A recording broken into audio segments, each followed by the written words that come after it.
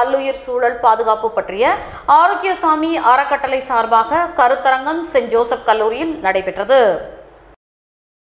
விரிவாக்கத்துறை இயக்குனர் பெர்க்மான்ஸ் உயிர் அறிவியல் புலம் தலைவர் சகாய சதீஷ் மற்றும் தலைமை ஆசிரியர் அந்தோனிசாமி மற்றும் முதுநிலை ஒருங்கிணைப்பாளர் திரு லெனின் அவர்கள் கடந்த ஒரு வாரம் நடைபெற்ற இந்நிகழ்ச்சியில் பேச்சு போட்டி கவிதை போட்டி கட்டுரை போட்டி ஓவிய போட்டி மூலிகை தோட்டம் அமைத்தல் மரக்கன்றுகள் நடும் நிகழ்ச்சி கண்காட்சி மற்றும் சுற்றுப்புற சூழல் பற்றிய ஆவணப்படங்கள் ஐகப் மாணவர்களின் சுற்றுப்புற சூழல் பற்றிய விழிப்புணர்வு நாடகங்கள் முதலியவை இடம்பெற்றன.